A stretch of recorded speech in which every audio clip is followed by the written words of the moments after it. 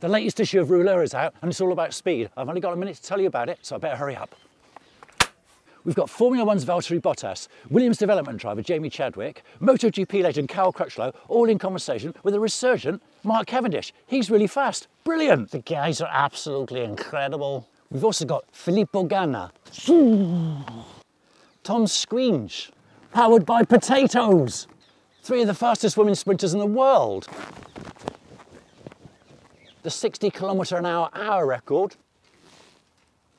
And a photo essay from our finest photographers on the subject of speed. We've also gone to Cheddar Gorge with Alec Briggs and Specialized. Geezer! And then I wrote a piece about slowing down, chilling out, just taking it easy. Because why rush around all the time? Brilliant. Buy yours now at rouleur.cc.